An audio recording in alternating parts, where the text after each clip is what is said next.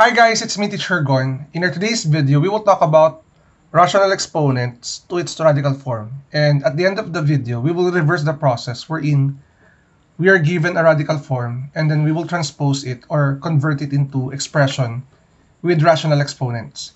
So without further ado, let's do this topic. So what we have here is this. We have here transform the following to its radical form. So this one is an expression or the general form for expression with rational exponent. The base here is a and the exponent is m over n. Now, to transform this one into the radical form, basically, the denominator of the, of the exponent will become the index of the radical, while the numerator of the exponent of the rational exponent will become the exponent of the radicand. So we have here three examples and I will show you how to transform these expressions with rational exponents into its radical form. So your base will serve as the radicand. First, you will draw the radical sign. Copy your base inside and then this denominator 3 will become the index. And then, the numerator 2 will serve as the numerator of your radicand. Now, as you can see, this one is already in radical form, but we can simplify 3 square. 3 square is equal to 9. Therefore, the final answer for number 1 is the cube root of 9. This is the answer for item number 1. Now let's move on with item number 2.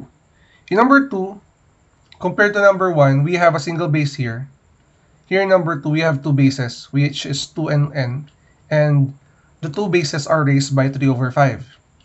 Ngayon, ang gagawin mo dito is ganito. Gawa ka muna ng radical sign. And then, as you can see, the denominator is 5.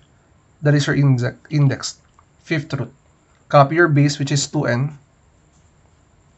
And then the exponent will be the 3. So, enclose mo lang sa parenthesis to, then raised by 3. So, what will happen here is we will distribute the exponent. Mangyayari dito, ito. The fifth root of 2 cube then n cube. Distribute natin yung exponent sa dalawang base natin. So what will happen, yung 2 cube natin will become 8, meaning the final answer is simply the fifth root of 2 cube is 8, and then n cube. This is the answer for item number 2. Let's continue with item number 3.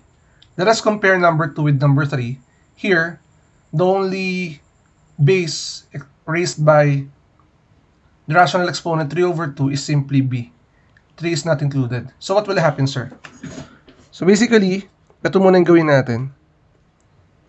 That is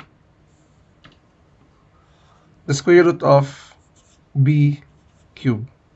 Yung index natin na 2, galing dito, kapag ang index mo is 2, you can express that as an invisible number or invisible index. And the numerator exponent here will become 3. So what will happen with this base? It will be put outside the radical sign. Hindi siya index ha, isa siyang coefficient.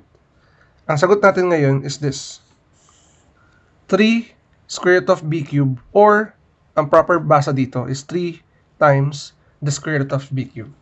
So I hope guys na nakuha niyo yung method natin on how to transform expression with rational exponent into its radical form. So let's continue with the next part.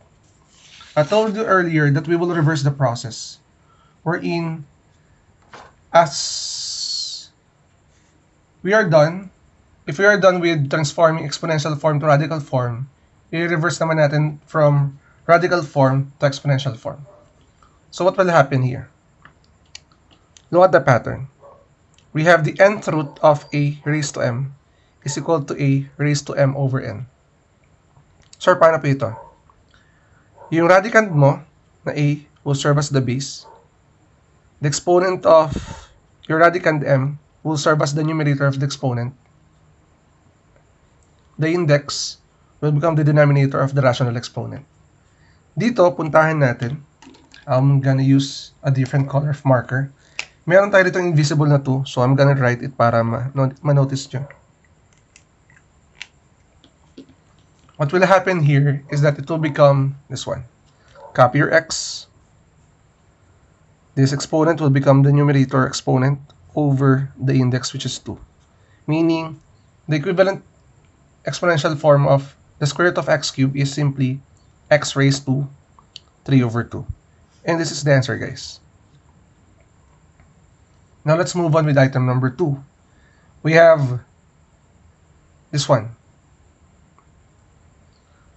Cube root of 7x to the fourth power. Here, the exponent 4 is for x only. So what will happen here? Sir, what will happen? Copy mo lang yung radicand mo. 7x to the fourth power. And then, meron siya ditong exponent sa labas na 1. Magiging ano siya? Raised to 1 over 3. So, saan nanggaling yung 1? Meron siya ditong invisible exponent na 1. Okay? Then your index, ito. Then yung ating dalawang bases na x and x to the fourth power, enclose natin sa parenthesis. Punta naman natin to. So what about this example? Here, as you can see, meron tayong visible exponent. Kunin mo to, magiging 8 n raised to the third power. Enclose by parenthesis. Then, 7 over 5. Pwede na ito maging sagot natin. So, enclose na natin to ng box. Ito rin, meron ba tayo pwedeng simplify dito? Wala na. So, include natin to by box. Again, yung base natin, kinuha natin 8n cube.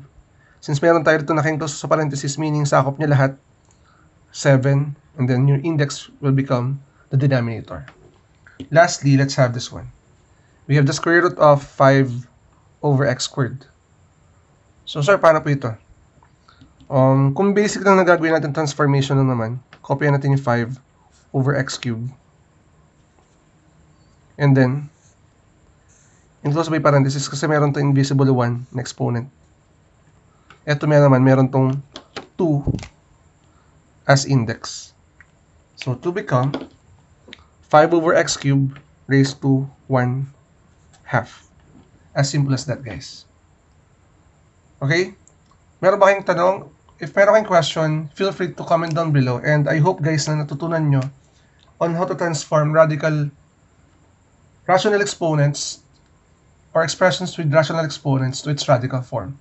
So if you're new to my channel, don't forget to like and subscribe at i-hit na rin yung bell button for you to be updated sa ating latest uploads. Again, it's me, Teacher Gon. Maraming maraming salamat. Bye-bye!